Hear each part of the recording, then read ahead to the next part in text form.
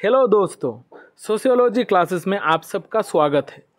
आज हम डिस्कस करने वाले हैं theories of origin of caste system के बारे में। मतलब कास्ट सिस्टम कैसे ओरिजिन हुआ, कैसे आया, ये सारे थ्योरीज आज हम डिस्कस करने वाले हैं। तो पहले देखते हैं कि आज के इस क्लास में हम कौन सी कौन सी टॉपिक्स पर ज़्यादा फोकस करने वाले हैं।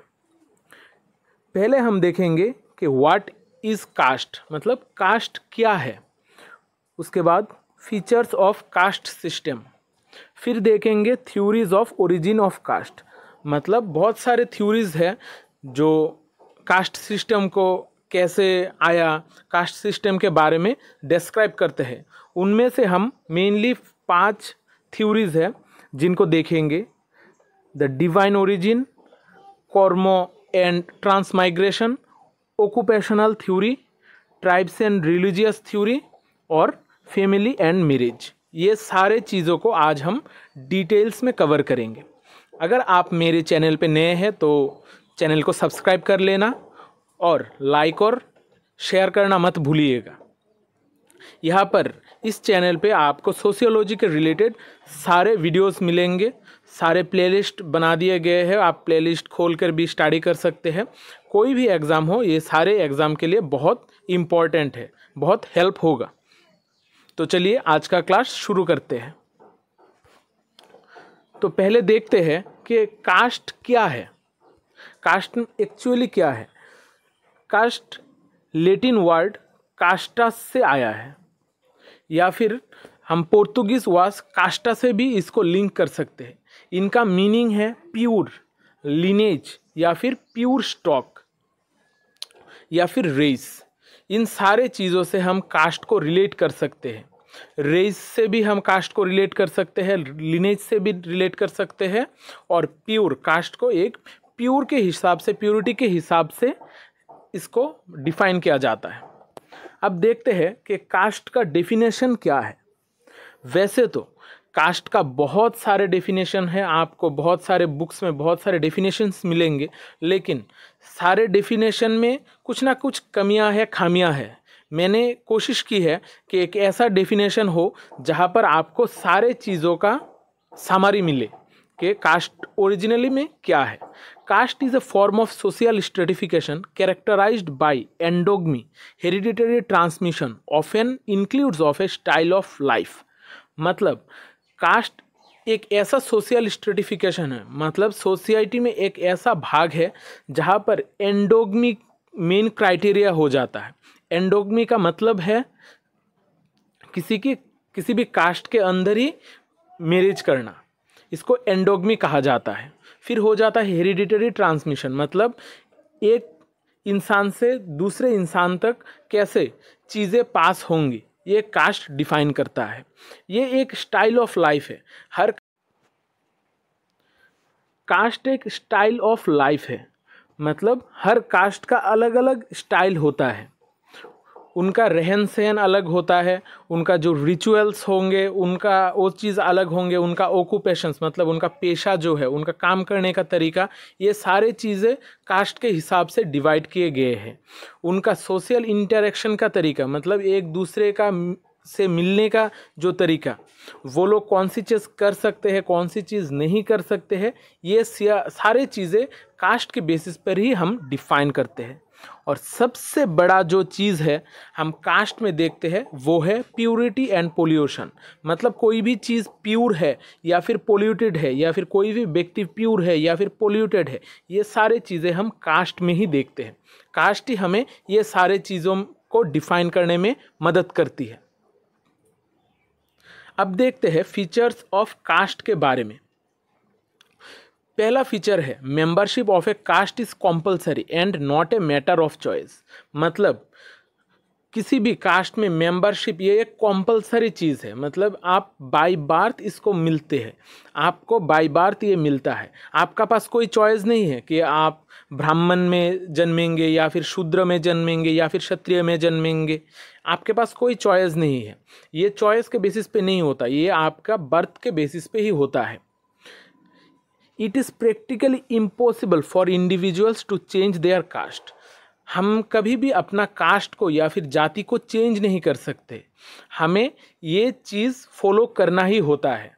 हम अपने हिसाब से चेंज नहीं कर सकते। हमें बाई बार्थ जो मिलता है, उसी को हम आगे बढ़ा सकते हैं। उसी से हमें काम करना होगा, उसी से हमें संतुष्ट रहना होगा। Each caste boasts of a peculiar tradition of culture and tries to preserve it tenaciously.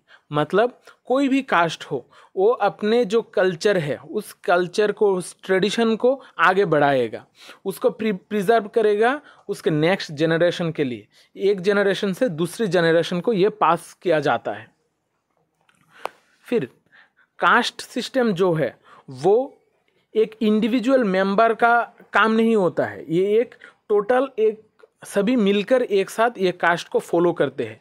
यहाँ पर हम मेनली कौन सी कौन सी चीज़ों पर ज़्यादा एम्फासाइज करते हैं? हम हमारा फ़ूड का मैटर हो मतलब फ़ूड कैसे लेते हैं, कौन सी फ़ूड लेंगे, हमारा मैरिज का सिस्टम हमारा डाइवोर्स का सिस्टम हमारा बर्थ के बाद हम कौन सा रिचुअल्स करेंगे डेथ के वक्त हम कौन सा रिचुअल्स करेंगे, ये सारे चीज़ें कास्ट में डिफाइन किया जाता है। कास्ट के हिसाब से ही हमें ये सारे चीज़ें करनी पड़ती है। आजकल भी हम मॉडर्न ज़माने में भी देखते हैं, ये सारे चीज़ों को हम फॉलो करना ही पड़ता है, क्योंकि हमारा कास्ट सिस्टम इस तरीके से ही हमारा चलता है। अब देखते हैं theories of origin of caste system मतलब कास्ट सिस्टम कैसे ओरिजिन हुआ? कास्ट सिस्टम कैसे आया? वैसे तो बहुत सारी थ्योरीज है कास्ट सिस्टम को डिफाइन करने के लिए। बहुत सारी थ्योरीज होती है, लेकिन हम सबको नहीं पढ़ेंगे। हम देखेंगे कि इंडिया के सेंसस 1931 में कास्ट को समझने के लिए कास्ट कास्ट को इंक्लूड करने के लिए मेनली पाँच थ्योरीज को माना गया था। पाँच ओरिजिन ऑफ़ कास्ट के थ्योरीज को मान्यता दी गई थी। उन पाँचों को आज हम डिटेल्स में स्टडी करेंगे। पहला है the divine origin karma and transmigration occupational theory tribes and religious theory और आखिर में फैमिली एंड मैरिज इन सारे चीज़ों को आज हम डिटेल में कवर करेंगे। तो पहले देखते हैं the divine origin divine origin है क्या? डिवाइन ओरिजिन का मतलब है किसी एक डिवाइन पर्सन या फिर पौरुष या फिर एक क्रिएटर जो हमारा पूरा दुनिया को, संसार को बनाता है। वो कैसे हमारा सोसाइटी को बनाया है, उसके हिसाब से देखना। ये जो डिवाइन ओरिजिन है, ये ऋग्वेदा के पौरुष सुक्त में बताया गया है। वहाँ पे इसको मेनली डिफाइन किया गया उसके बाद यहाँ से बहुत सारे बुक्स में इसको पास ऑन किया गया है। यहाँ पर क्या बताया जाता है?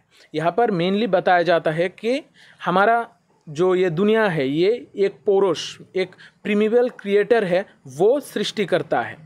उसके जो शरीर के अंग है, अंग के हिसाब से हमारा जो लोग है, वो तैयार किए गए हैं। जो ब्राह्मीन्स है ब्राह्मीन्स उसके माउथ से क्रिएट हुए हैं। उसके माउथ से जन्म हुए हैं और क्षत्रिय हुए हैं उनके आर्म्स से। वैश्यस हो गए उनके थाई से और शूद्रस हो गए उनके फीट से। ये चारों जो वर्ण होते हैं, जो कास्ट होते हैं, ये सारे वर्ण कहीं ना कहीं वो प्रीमिवल क्रिएटर या फिर पौरुष से ही क्रिएट होते हैं। यहाँ पर हमें अच्छी तरीके से एक चीज़ याद रखनी हो, यहाँ पर जो एक फिफ्थ वर्ण है, दलित वर्ण, वो नहीं है।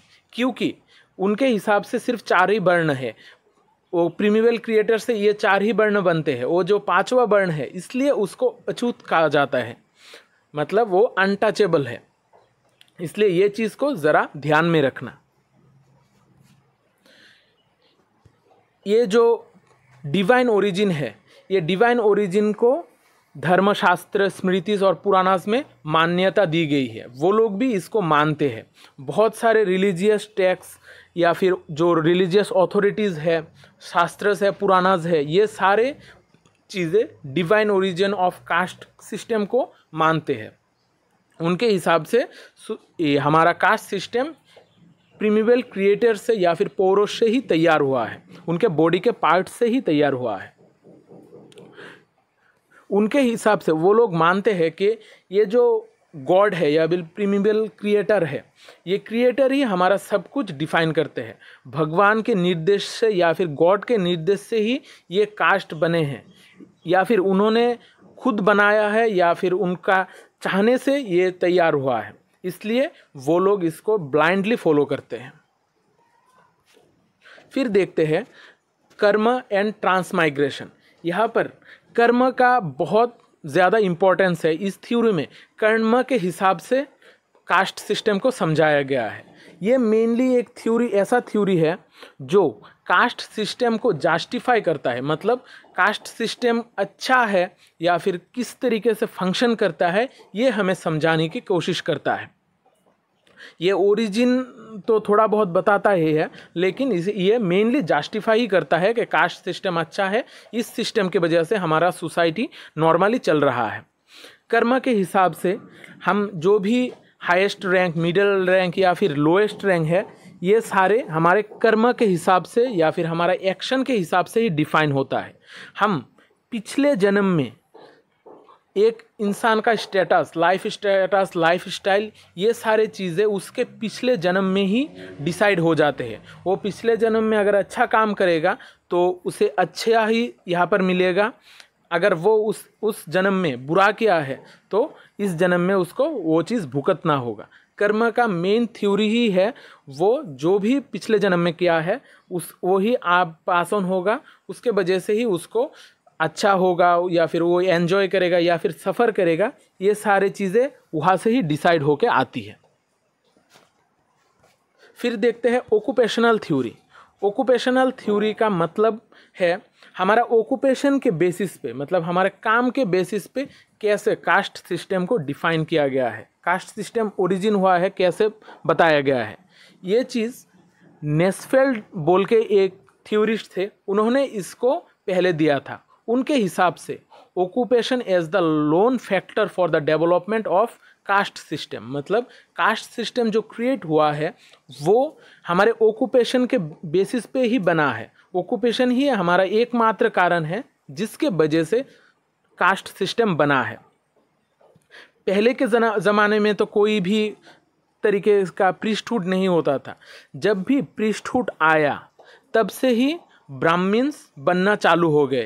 पहले इतना पूजा अर्चना नहीं था। धीरे धीरे धीरे धीरे हमारे सोसाइटी में पूजा अर्चना स्टार्ट हो गए। जब पूजा अर्चना ज़्यादा हो गया तो ब्राह्मण्स जो एक जाति है, वो बन गया कि वही लोग इस चीज़ को पूजा करेंगे। फिर धीरे धीरे करके इसके इर्द गिर्द ही बाकी कास्ट बनने लगे कि नहीं, ये सबसे बड़ा कास्ट है, ब्राह्मीण सबसे बड़ा कास्ट है क्योंकि ये पूजा अर्चना करता है, ये भगवान के साथ हमको मिलाता है। इसकी वजह से ये सबसे बड़ा कास्ट हो गया। फिर बाकी जो लोग हैं, वो लोग भी इसको ब्राह्मण्स को बड़ा मानने लगे। धीरे धीरे ब्राह्मण से क्षत्रिय तैयार हुए कि नहीं, अब जो भी लोग हैं प्रोटेक्ट करने के लिए भी हमें प्रोटेक्टर चाहिए। कौन प्रोटेक्ट करेगा? प्रोटेक्ट करेगा हमारा क्षत्रिय। फिर जो बिज़नेस क्लास है, कौन बिज़नेस करेगा? वो बिज़नेस करेगा वैश्य।